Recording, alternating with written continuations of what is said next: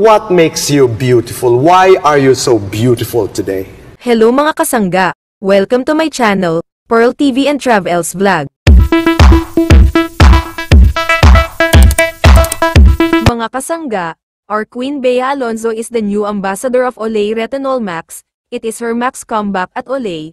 Since 2012 and 2013, Boy Abunda asked her why she is beautiful, at ito ang sagot ng ating queen. Watch it here mga kasangga. Congrats Queen Bea! The things that I've gone through make me beautiful. And I am beautiful because I know who I am inside. I try to see beauty in every person. I try to see good in every person.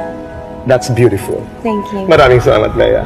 Thank you. Thank you very much. Every day gives us a chance to make a comeback, to reset and make changes so we can face whatever's next. I've always seen beauty in what lies ahead.